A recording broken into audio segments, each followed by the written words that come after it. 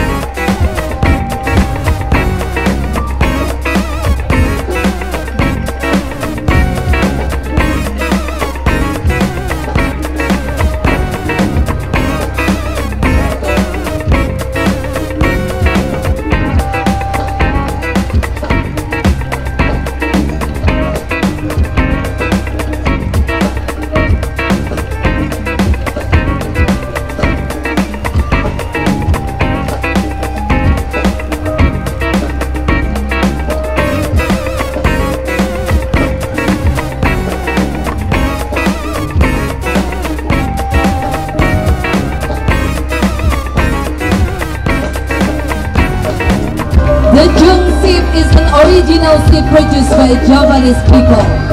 In this era, junk ship had two functions, namely cargo ships and warship. The basic material is teak wood, which is the main commodity of Javanese land, especially in the Blambangan Royal Region. Kapal Jung merupakan kapal asli yang diproduksi oleh orang-orang Jawa. Pada zamannya, kapal Jung mempunyai dua fungsi, yaitu kapal barang dan kapal perang. Bahan dasarnya adalah kayu jati yang menjadi komoditi utama tanah Jawa, khususnya di wilayah kerajaan Lambangan. Hadirin, inilah subtema Kapal Jung